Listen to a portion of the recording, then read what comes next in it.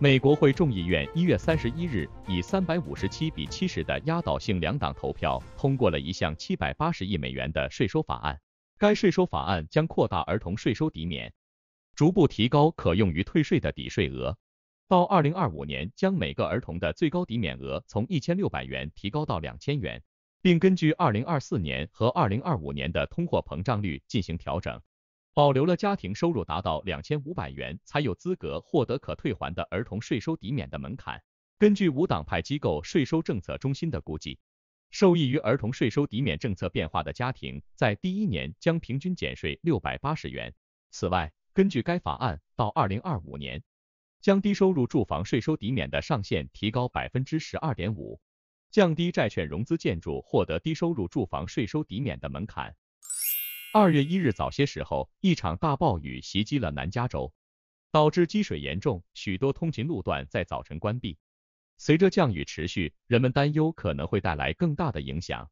洛杉矶县大部分地区的平均降雨量已经达到一到二点五英寸，有些地方甚至超过了三英寸，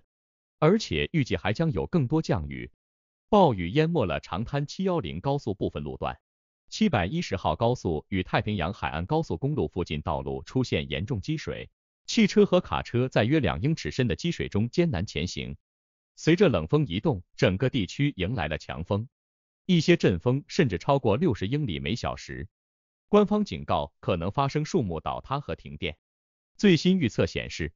预计第二场更强的风暴将于周日晚些时候到来，并带来多日降雨。美 FDA 一月三十一日表示，自二零二一年以来，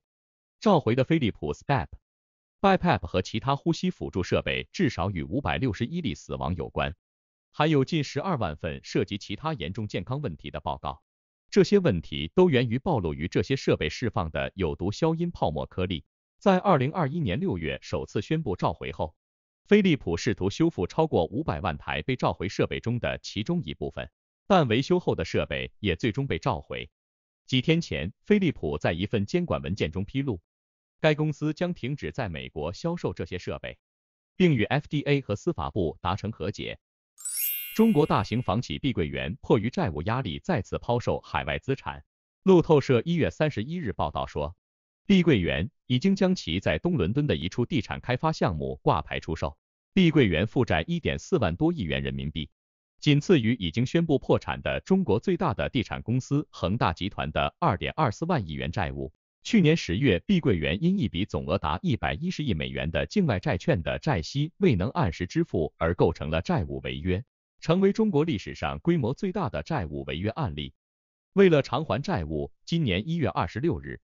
碧桂园抛售了他在澳大利亚悉尼附近的一个地产开发项目，彻底退出了澳大利亚。该项目的交易金额为二点四亿澳元。这次在英国出售的地产开发项目的名称为艾尔莎码头。据悉，该项目规划建筑九百五十二套住宅，总价值约四点五亿英镑。